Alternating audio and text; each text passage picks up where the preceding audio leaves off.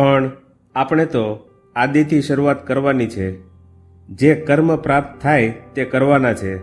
અને દિન પ્રતિદિન ધીમે ધીમે વિશેષ ને વિશેષ પ્રમાણમાં નિસ્વાર્થી બનવાનું છે. આપણે કામ કરવું જોઈએ અને તેમ કરવા આપણે શા માટે પ્રેરાઈએ છીએ તેનો હેતુ શોધી કાઢવો જોઈએ.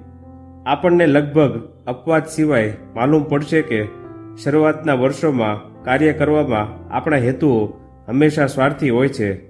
પણ સતત રીતે પ્રયાસ કરવાથી આ સ્વાર્થી તત્વ ઓછું થાય છે. અને છેવટે એક દિવસ એવો આવે છે, જ્યારે આપણે ખરેખર નિસ્વાર્થ વૃત્તિથી કાર્ય કરતા થઈએ છીએ.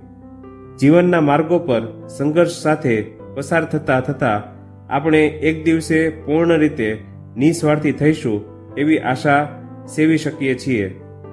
અને જે દિવસે આપણે આવી નિસ્વાર્થ વૃત્તિ પામીશું, તે સમયે આપણી સર્વ શક્તિઓ આત્મામાં કેન્દ્રિત થશે અને જે જ્ઞાન આપણી અંદર રહેલું છે, તે આવિષ્કાર પામશે.